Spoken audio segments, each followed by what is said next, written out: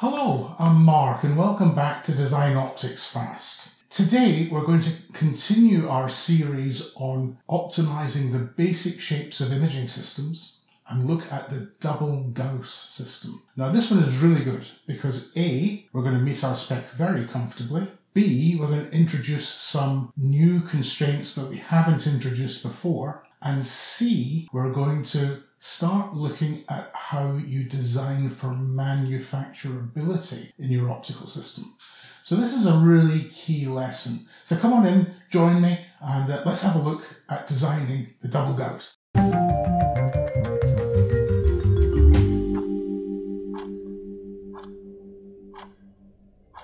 Okay, so I've gone through the exact same process that I did with the Cooke triplets. I'm not going to repeat it here. The double Gauss is a four element system with two of the elements being doublets.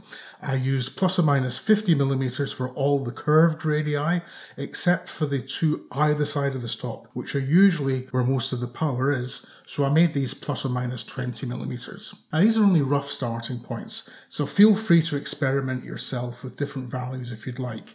You'll see that the starting values make little to no difference to the final result. It's just that I know that this basic shape is going to be a double Gauss, and so I give it a vaguely double Gaussy starting point. You'll also notice that I chose to leave the internal faces of the two doublets as flat or plano. Uh, the value of the doublets in the double Gauss is the two different glasses giving control of chromatic performance. And we'll put most efforts into finding the right glasses and then we'll add extra refractive power if we need it later. Note all glasses have got substitute solves placed on them and I have a glass substitution template just the same as all the previous glass substitution templates. Uh, no changes there. I have put ray aiming on you can see here and I have defined the aperture again by entrance pupil diameter just as we did with the uh, Cooke triplets. I'm going to make a few changes to the merit function, however. So let's just pull it up. Via the optimization wizard, I am going to add a constraint on the maximum distortion that the lens will be allowed to have. And I haven't put this in previously. Distortion is unlike other third order aberrations because it doesn't affect image quality. So it doesn't affect spot size, wavefront error, MTF, any of these things. What it affects is the location of the spot formed and not its image quality. As I'm now getting to the point of a design that's reasonably sensible, I'm going to put in a constraint of maximum distortion 1%. Just apply that and you'll see it gets added here. There's my constraint of 1%. It's currently about 3%. So that's my first constraint that I've added, distortion. I'm also going to want to add a constraint on the back focal thickness. That's this distance here. The distance from the last glass surface to the image plane is called the back focal length. One reason I'm going to do this is I don't want OpticStudio to bother about trying to move this lens down to the image surface to form a field flattener. I prefer to do field flatteners if required when I'm really trying to get the design to be just right rather than when at the basic shape stage of the optimization. What I'm going to do is just add an operand into the merit function, press insert and type in CTGT, which stands for center thickness greater than. That surface is surface number 12 so I'll just say surface number 12. I would like it to be larger than 30 millimeters and I'll give it a weight of 1. And so now if I update the merit function, you'll see that it actually has a current value of 26. So this boundary value is currently being broken and it's going to want to make that distance larger when we optimize. The other thing that I want to control is the total length of the optical system. Left unconstrained, OpticStudio will generally try and make a lens as long as it can be because it means that the lenses themselves don't have to curve so much and therefore they introduce less aberration. I think a realistic maximum length for this lens, I'm just going to take it as an arbitrary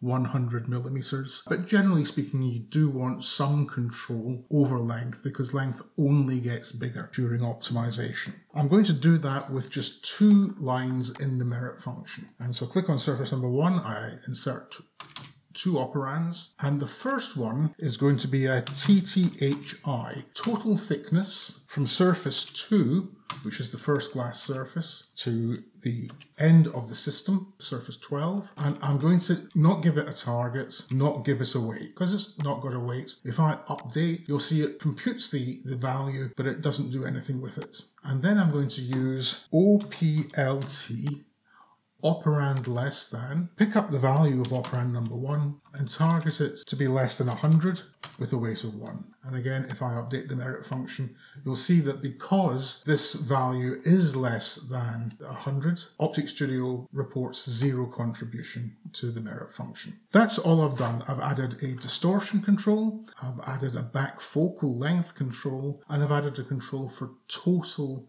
length of the system. And those are three very reasonable things to add to any imaging systems design.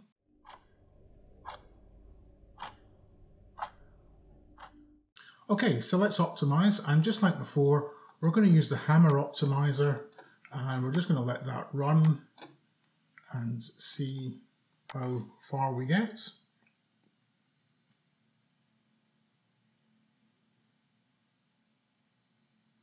And you'll see that very, very quickly uh, we get a design that's uh, in spec or, or close to being in spec. Um, you could argue this one's in spec, but there we go. There we are. Within about 18 uh, seconds or so, I got a design that's you know completely uh, uh, within spec. This is actually, I have to say, really stunning performance when you think that we're looking for uh, the best design in an 18 dimensional variable space Plus, we have six adjustable glasses as well. Um, so performance improves very quickly, and I used the three minute rule to create my best nominal design, which you're seeing here. This has got a merit function of 0.00015, which was found within about a minute, uh, although I'll let the hammer continue for a further three minutes just to make sure. You can see that we have terrific control of all aberrations here. The RMS spot size is very small, and you can see the degree of aberration control here. Let's just look at the Seidel diagram in a little bit more, more detail. Uh, I tend to not show the distortion on Seidel plots because it doesn't affect image quality, and I think it's more useful to look at those uh, aberrations that do. And you can see that we have a great deal of balancing of aberrations. And so the most aberrant surfaces are 6 and 8, but they're being balanced by other surfaces to give us a very small system sum. You can also see that the flat surfaces, which are 5 and 9, although they are flat and therefore have no power, they do contribute aberrations and therefore do contribute to the overall aberration balancing and therefore image quality of the overall system. That's a really important point. Don't neglect non-powered optics. They are actually very, very important. Now let's just spend a few minutes discussing the RMS spot size of this design.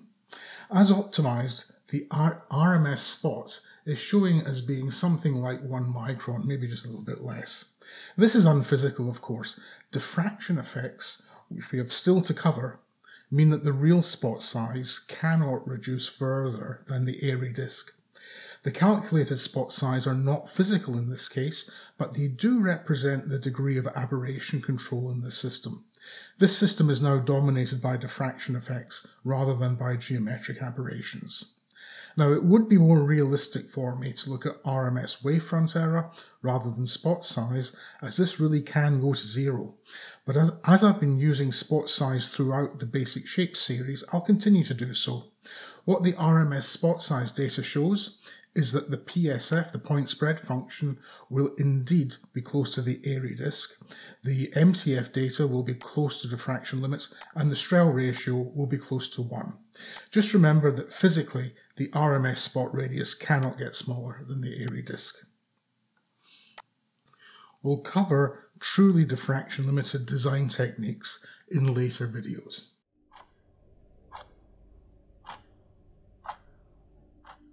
So let's review what we've done so far.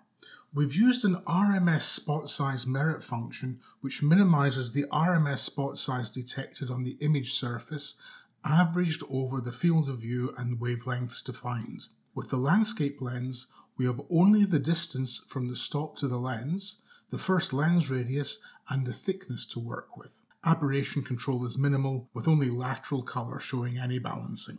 Moving to the color corrected landscape, we add an additional glass and surface and start to see color aberrations and spherical and astigmatism aberrations balancing. But the system sum is still large, with field curvature and spherical dominating the system sum. When we move to the Cooke triplets, we have enough degrees of freedom to control the third order aberrations as well as the F number. We get a well corrected system sum. But note how the individual surface aberrations increase. Individual surfaces are aberrating three or four times as much as in the previous designs, even though they balance to give a low system sum. This is typical of critical design, where there are just enough degrees of freedom to give the performance needed. The aberration balancing is very delicate. Manufacturing errors like finite precision and especially tilt decenter position errors can prevent that balancing, meaning that performance in the as-built system is lost. The double Gauss has more degrees of freedom and as expected it produces the lowest system sum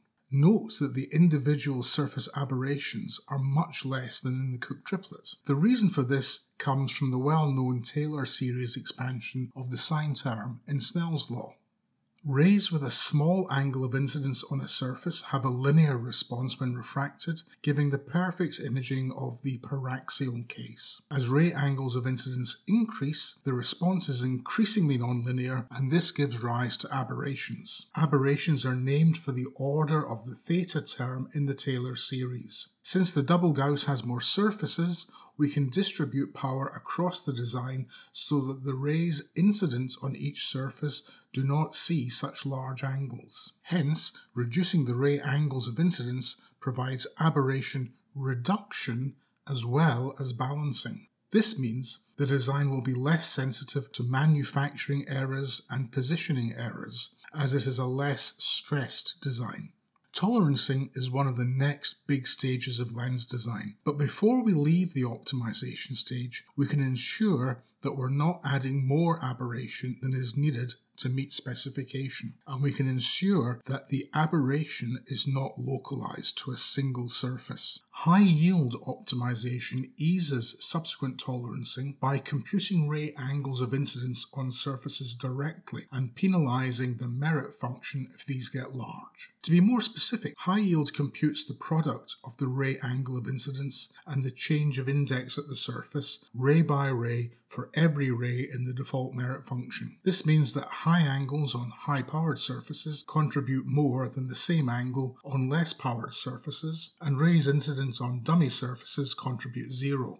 Good memory management means that the computational load of this calculation is low. Since the ray must be traced for the previous image quality calculation, we get the ray angles of incidence in any case. This makes high yield optimization very fast, considering the number of operands added to the merit function.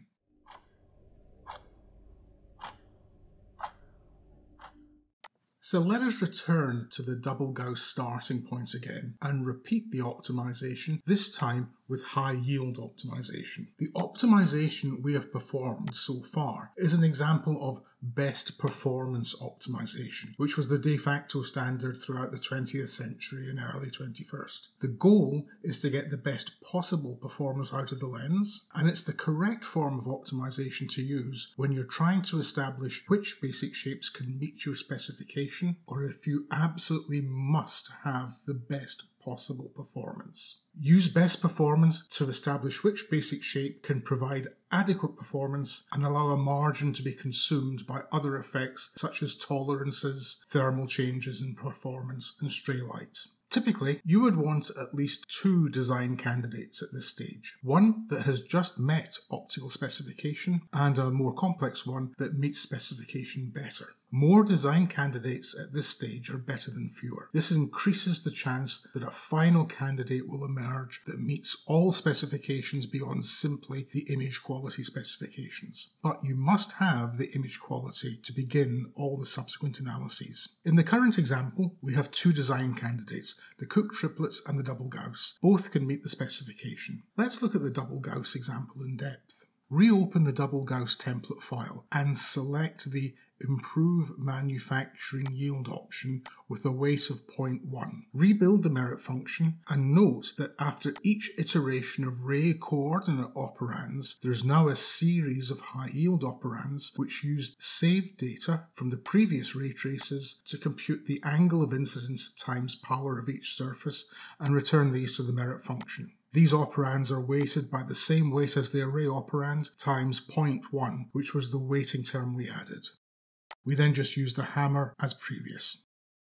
Doing this shows us that the performance varies only very slightly, so we repeat with a weight of 1 on the high yield operands. This still gives us a good result, so we again repeat with a weight of 10. Performance is still in specification, but you can see that it has started to degrade. We repeat again with a weight of 20, and we see the first instance where a spot size exceeds the Airy radius, although it's still comparable to it.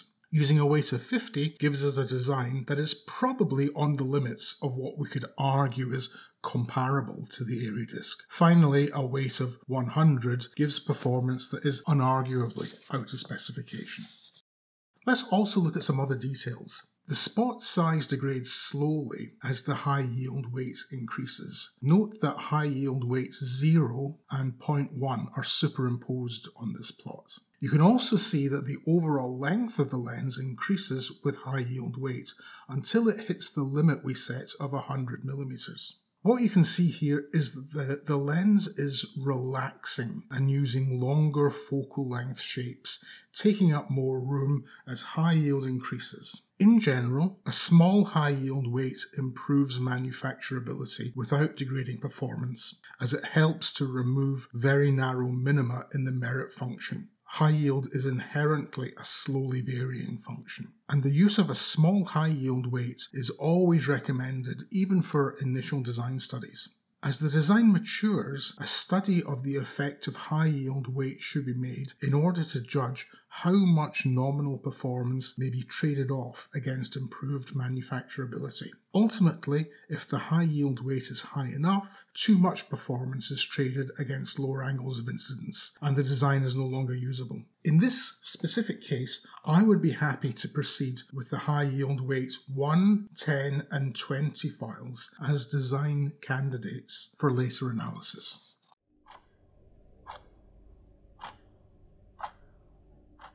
So let's summarize what we've done. We set up the starting point using the same process as we used for the Cooke triplets. We started with a landscape template, added more surfaces before and after the stop. We used NBK7 and NF2 glasses, a glass substitution template and glass substitution solves. We used 10, 20, 50, etc. radii and thicknesses. We used entrance pupil diameter and ray aiming, and we used the hammer optimizer. The result is that we met our specification really well. Aberrations balance across all surfaces to give a low system sum. We have enough glasses for good color control and enough surfaces to balance aberrations across them to reduce the final system sum. Note though that highly aberrating surfaces give tolerance sensitivity. So can we allocate the aberrations better? High yield optimization reduces ray incidence angles on surfaces with high power so that aberrations are more evenly distributed across all surfaces. We need to iterate to find that sweet spot for high yield. A small weight, around 0.1, will usually give some improvements without affecting image quality too much. In this design, weights of around 1 to 20 could be investigated further as real design candidates. Weights greater than 50 gave us inadequate performance.